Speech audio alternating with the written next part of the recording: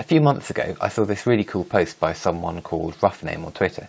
They'd used a Puck.js device, which is this button here, to let them skip to the next song on their phone while they were driving, which obviously lets them keep their eyes on the road. I thought I'd show you how easy that is to do with Puck.js. So um, these are Puck.js devices. Um, you can get different cases for them. I'm just going to use the black one now. Um, first step is to um, take the bits, take the little tab out of the battery so the battery is connected, um, and then connect to it with the Web IDE. All of this is described online um, and it varies depending on your platform, so I'm not really going to go into it here. But you click this button, you connect, and once you're connected, you can do things like uh, ask this device what its temperature is. And this is all kind of happening on the device itself, and it'll tell you. Um, what we want to do is to um, do something when the button's pressed. This is actually like a little clicky button. Um, to do that, we'll, we'll write some code on this side. We'll say uh, set watch, uh, and this will execute a function when something happens. Um, so we'll say we want it to watch the button, and we want it to listen to the rising edge of the button. We want it to repeat all the time, not just once. And we want to debounce it. Um, because this is a physical button, um, the contacts can actually bounce on and off thousands of times a second. And of course, we don't want to get more than one press. We just want a single press every time we press it. Uh, so let's just get this to print hello every time it's it's pressed. Upload this code, press that button, and it'll say hello. Um, now at this point, we could go straight in and we could use the Bluetooth keyboard code and we could make it um, play or pause the music or do something like that but we want to maybe um, do two different things. We want to detect a short press or a long press and do something depending on that. So all we have to do here is um, we'll look at the data that gets passed into this function and instead of looking at the rising edge, which is when the button is pressed, we'll look at the falling edge, which is when it's released. Um, so now, if I look at the difference between the current time of that event and the last time, which would be the time that the button was pressed, we should see a number which is the number of, um, of seconds that it's been held down. So if I do a, a, relatively short pulse, we'll see that it comes in at um, significantly under half a second. I think for me, about a third of a second is a good figure. If I do a long press, you know, it comes in at probably half a second, or you can do a really long press, which will obviously be like over a second. So all we need to do now is to um, make a decision based on that. So we'll write it into a variable and we'll say if the length is greater than 0.3 of a second, which would be my long press, then we'll do something. Um, let's just flash an LED at the moment. So we'll make that one the red LED, which is LED 1. Uh, we'll do that for a little bit.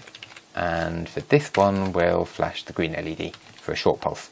So if I upload this, short pulse, um, green LED, long pulse, red LED. So now we want to um, add the the actual multimedia key stuff. So there's a page on this here. Um, uh, HID devices are human interface devices. You can have either a keyboard, which is actually got you know letters, numbers, arrows, things like that, or a multimedia keyboard which has got play, stop, pause, volume, things like that. So basically all we want is, um, is a code from here.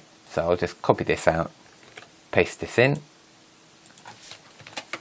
Now we don't care about much of this. We probably want a short pulse, which would be this one, to um, play or pause the music. And we want a long pulse to, um, to move to the next track. And we could obviously we could make a really long pulse go backwards if we wanted just by adding another if statement here. And then we'll get rid of these bits of the example. And that's it. We'll click upload. And we're ready to go. This is now saved into RAM. So if you were to remove the battery, um, it would be lost. But to get around that, you can literally just type save on the left hand side, just like that. Um, but I'm not going to do that for this example. So now we have the puck programmed, the next step is just to connect it to your phone. So go down into Bluetooth settings, go to more settings, and we'll wait for it to try and find the puck device down here. You can see it's found it almost immediately and it's got a little icon next to it which shows that it's actually, it knows it's a keyboard. So if I press this, it'll say pairing uh, and then connecting connected and now it's ready to go. So if we um, go back to some music maybe, um, we'll find that it does take a few seconds for the phone to kind of get to grips with it. So it may not work immediately. So if I press the button, um, and there you go, it's going. And you can pause it just by a simple quick press. Play again, pause. If I want to move to the next song, all I do is long press, let go, and then I can pause it again.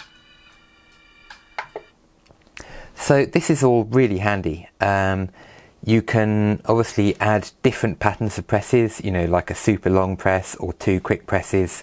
Um, all you have to do is change the code very slightly to do that. The pucks also have um, this little hole in the back of them, which will allow you to um, put maybe a paper clip or something in there and then hang it on your car wherever you want to. Otherwise, you can just use, you know, sticky back plastic, or you can even drill a hole through the back of here and just screw it onto something. So if you like this video, please subscribe and share it. I'm going to be trying to do an awful lot more um, of this kind of thing with microcontrollers, home automation, electronics, and that kind of stuff. Thanks for watching.